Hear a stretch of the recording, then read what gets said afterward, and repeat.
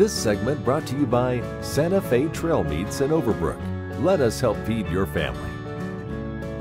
One of my favorite themes is cowboys and technology, probably because I'm technologically challenged. Even the simple cell phone can sometimes befuddle me, and it inspired me to write the following poem. It's called The Smartphone Dumb and Dumber. They showed me a new smartphone down at the cell phone store. They said it could check email and take pictures and do more. It had so many features that I almost forget. You could get a bunch of apps and surf the internet. So I bought that brand new cell phone, even though it made me nervous. The next Sunday, I was sitting in our Sunday church service. The preacher was a going on his Sunday sermon thing when that cell phone chose that very time in which to ring. Well, my face got all red and I fumbled for my phone and turned the darn thing off to stop the noxious tone. After the service, I said that I was sorry to the preacher, but he was very gracious about my interrupting feature. It was the next morning I rode out to check the cattle, to look for newborn calves and to fight the coyote battle. The herd was fine.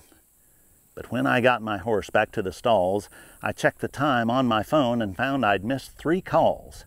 My wife had called from town about a part that we were needing, plus the order buyer called and a man about cattle feeding. I was so disgusted to have missed those calls for sure, but the phone was all turned off from what I'd done the day before. And that is how it's gone with this cell phone ever since. It's always the wrong way, which always makes me wince.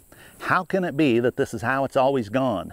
When I want it on, it's off, and when I want it off, it's on. There must be something wrong with this phone, at least in part. I thought the dadgum salesman said this stupid phone was smart. I was cussing out this cell phone. I was really on a tear. Then my wife made some comment about operator error. So I think the time has come, even though it is a slam, to admit this dadgum smartphone is smarter than I am. Happy trails.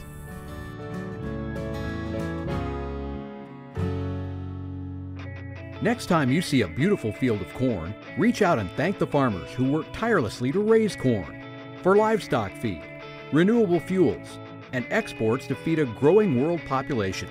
The farmers on the Kansas Corn Commission work for Kansas Corn with grower funded checkoff dollars that support foreign and domestic market development, research, promotion, and education to expand opportunities for Kansas farmers. To learn more, visit kscorn.com.